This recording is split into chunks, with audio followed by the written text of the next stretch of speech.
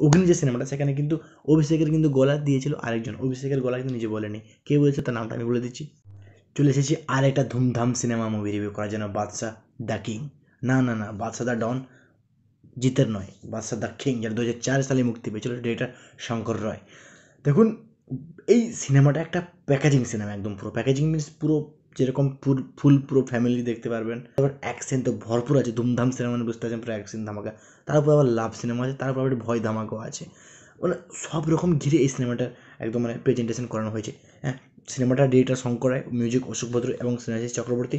Banner হচ্ছে বুড়িমা চিত্রম ব্যানারে প্রথম কথা হচ্ছে এই সিনেমার যে কাস্ট মানে প্রসেনজিৎ দুলাল লাহিড়ি রাজেশ শর্মা লাবণী সরকার কোয়েল মল্লিক সুভাশিস এবং এক একটা এক একটা মানে স্ক্রিন প্লে দেখানো হচ্ছে এমনভাবে যেরকম গুন্ডাটাই মানে এমন এমন ধর তিতলি মানে তোমার কোয়েল মল্লিককে, যে কোয়েল মল্লিক আজকে তাকে অ্যাটাক হয়েছে অ্যাটাক করেছে গুন্ডারা, এমনভাবে দেখানো হয়েছে, এমনভাবে মানে দেখানো মানে শান্তিলালকে দেখানো হচ্ছে যেমন শান্তিলাল দিচ্ছে খবর কাকে? তিতলির মামাকে মানে রাজেশ শর্মাকে। এবং এমনভাবে স্ক্রিন প্লে দেখানো হয়েছে, সবাই সবাই বুঝবে যে রাজেশ শর্মা হচ্ছে গুন্ডা।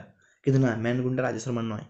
মানে এইরকমভাবে দেখানো হয়েছে মানে বিশেষ করে তখনকার দিনে এরকম সিনেমা কিন্তু পাওয়া খুবই খুবই বলতে গেলে একদম মানে কি দুরূহ ব্যাপার। হ্যাঁ বোম্বাতে তখনকার দিনে দু হাজার চার সিনেমা সালটা বলছি। খুব ভালো রোমান্টিক সিনেমা ছাড়াও কিন্তু খুব ভালো ভালো সিনেমা দিচ্ছেন অগ্নি। খুব একটা ব্লকবাস্টার একদম মানে অ্যাকশন সিনেমা ওকে বোমাতে তখন সকাল সন্ধ্যা সবুজ শান্তি, বাজি রোমান্টিক সব সিনেমাগুলো দিতেন কিন্তু। তাছাড়া এই সিনেমাটা কিন্তু একদম পুরো রোমান্টিকের পুরো বাইরে বলতে গেলে একধারে হ্যাঁ? একদম পুরো ধুমধাড়াকা সিনেমা সো দেখুন বাদশা দ্য কিং সিনেমাটা বাদশা দা ডন যে যেটা পেয়েছিল জিদ্দার, তার থেকে কিন্তু খুব ঢের গুণ ভালো। হালকা একটু স্টোরি বলে স্টোরিটা হচ্ছে দেখুন যে তিতলি হচ্ছে একটু মানে কোয়েল যে তার নামে অনেক সম্পত্তি থাকে, সাথে তার মামা কাছে সে থাকে, তার মা হচ্ছে লাবণী সরকার হ্যাঁ? তো খুব খুব টর্চারে থাকে, তার মামা প্রচুর রাজেশ শর্মা প্রচুর তাকে শাসনে রাখে। সো সেখানে কলেজে গিয়ে মানে ওখানে দত্ত টোম্বাদার সঙ্গে লাভটাভ হয়। সো মানে যেহেতু এত সব সম্পত্তি একটা মেয়ের নামে আছে মানে তার উপর রিক্স ওই জন্য কি হয় না হয় তা দেখতে হলে কিন্তু আপনাকে বাদশাহ কিং সিনেমাটা দেখতে হবে ওকে এই ছিল স্টোরি এবং যেটা বললাম যে স্ক্রিন প্লেটা খুব দুর্দান্ত এবং সিনেমাটোগ্রাফিও খুব সুন্দর। এসকে মুভিসে এরকম আর মানে সিনেমা দেখা কিন্তু খুব দুর্বহল ব্যাপার।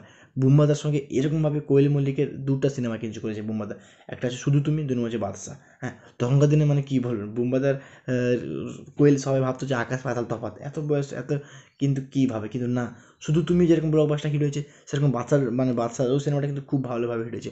কোয়েলের সঙ্গে বুম্বাদার খুব ভালো একটি অভিনয় বলে এই সিনেমাতে অভিনয় কিন্তু করেছে আমার ক্ষেত্রে দুজন, রাজেশ শর্মা এবং মৃণাল মুখার্জি। দেখুন রাজেশ শর্মার অভিনয়টা দুর্দান্ত লেগেছে রাজেশ শর্মার অভিনয়। লাজ্জাবাব রাজেশ শর্মার অভিনয়। এবং শেষে শেষে এন্ডিংয়ের দিকে কিন্তু সবাই বুঝতে পেরেছেন যে রাজেশ শর্মা খুব ভালো অভিনয় করেছেন। তো আরেকটা হচ্ছে মৃণাল মুখার্জি। মৃণাল মুখার্জি যে অ্যাক্টিংটা এক চোখ নেই তার, এক চোখে তার একদম মানে গ্যাস লেগে একদম পুরো এক চোখ পুরো ব্যান্ড থেকেছে আরেক চোখে যে অভিনয় সে কালো বিড়ালের মতন দুর্দান্ত লেগেছে। লাজবাব। মৃণাল মুখার্জি লাজবাব করে ফেলেছে এই সিনেমাতে। উনি জানেন উনি কী অভিনয় করেছেন। এবং রাজেশ শর্মাকেও দুর্দান্ত লেগেছে। এই সিনেমাতে দুটোই খুব ভালো অভিনয় করেছেন এই দুজন। আর যে বাজারবাজ আছে। বুম্বাদা তো যেরকমভাবে সিম্পল মোটামুটি খুব ভালো লেগেছে। মানে সেরকম সিম্পল বাট কোয়েলদের যে অভিনয় মানে কি এত ওভার রেটের লেগেছে কোয়েলের অভিনয় মানে গা জল জল করে গেছে কোয়েলের অভিনয়। কি সারা সিনেমাটা এসে খালি ভয় পেয়ে গেছে।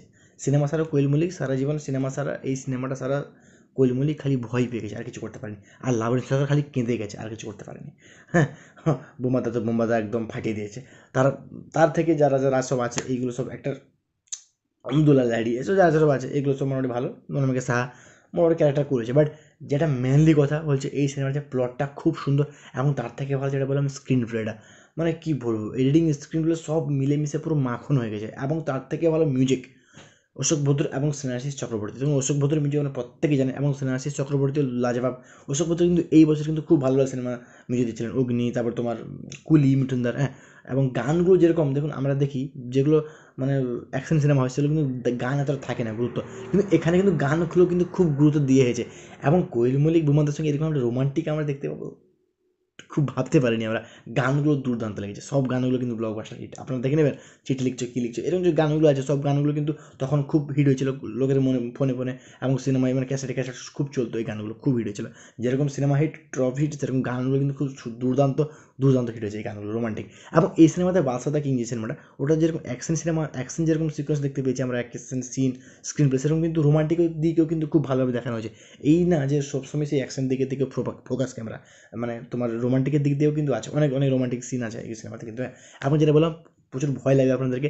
এবং এক একটা এডিটিং এবং এক একটা স্ক্রিন প্লে আমার দেখানো হয়েছে যে সিনেমা শেষে না দেখলে কিন্তু বুঝতে না। একটু হালকা থ্রিলিং মধ্যে কিন্তু আছে এই সিনেমাটা হালকা থ্রিলিং বলতে যাবে। সো খুব ভালো দুমদাম সিনেমাটা এই বাদশা দ্য কিং সিনেমাটা অনেক কিছু কথা ছিল বলব ভেবেছিলাম বাট সব ভুলে গেলাম। কী কী সব খাতা লিখে রাখতে হবে? কী কী বলব, না বলব? সব ভুলে গেলাম। অনেক কিছু ভেবেছিলাম এই সিনেমাটা অনেক কিছু বলব। সো এইটুকু কথা। এবং একটা কথা বলি, এর আগে আমরা দুমদাম সিনেমাতে একটা কথা বলেছিলাম যে, অগ্নি যে সিনেমাটা সেখানে কিন্তু অভিষেকের কিন্তু গলা দিয়েছিল আরেকজন। অভিষেকের গলা কিন্তু নিজে বলেনি। কে বলেছিল? তার নামটা আমি বলে দিচ্ছি।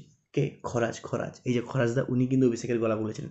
কিন্তু আপনাকে ধরতে পারলেন। ওকে সো আজকে একটা প্রশ্ন জিজ্ঞাসা করছি আমি। কোন সিনেমাতে প্রসেনজিতের কোন সিনেমাতে শিবাশিস মুখার্জি, মুসলিম অভিনয় করেছেন? মানে মুসলিম হয়েছেন। তাকে কিন্তু খুন করে দেওয়া হয়। হ্যাঁ খুব দুর্দান্ত একটা কাহিনী কিন্তু। মানে সুভাষিস মুখার্জি আপনার প্রত্যেকে দেখেছেন কমেডি করে বাট না সেই সিনেমাতে কিন্তু সুভাষিস মুখার্জি হালকা কমেডি করেছে বাট সে একটু মুসলিম বন্ধু মাদার তাকে কিন্তু খুন করে দেবে। সেই সিনেমাটার নামটা কমেডি বলবেন ওকে ভালো thank you take care bye